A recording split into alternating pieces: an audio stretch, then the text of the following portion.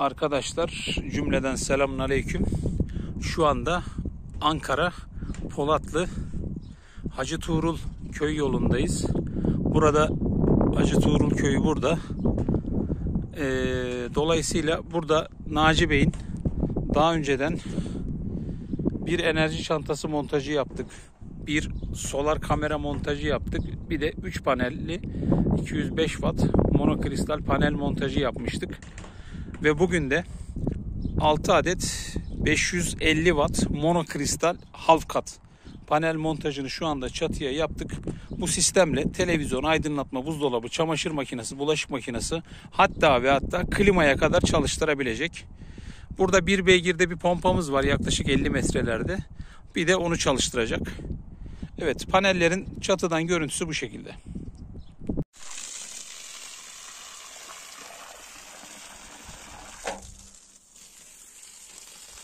Dur hiç bozma abla.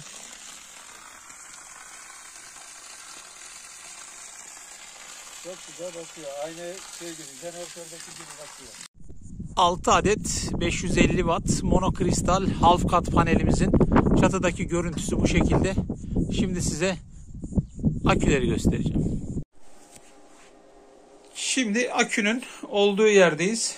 51.2 volt lityum LifePo 4 Megacell marka kendi imalatımız olan e, lityum akü koyduk. 48 volt 100 amper. Bir de bunun yanında 60 amperlik bir MPPT'li şarj kontrol cihazı kullandık. Bizim olmazsa olmazımız panel için, akü için ve invertör için sigorta kutumuz var. Ve burada da 5 kava tam sünüs bir invertörümüz var. Akü kullanım talimatnamemizi de astık. Ee, müşterimiz bu sistemle televizyon, aydınlatma, buzdolabı, çamaşır makinesi, bulaşık makinesi, klima, e, pompa, bahçesinde bir de pompamız var.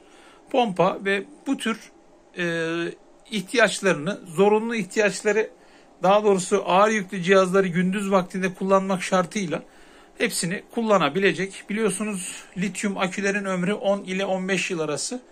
Burada şu anda lambamız yanıyor. Bir de buzdolabımız var. Buzdolabımız da hemen göstereyim size arkadaşlar. Buzdolabımız da çalışıyor. Evet.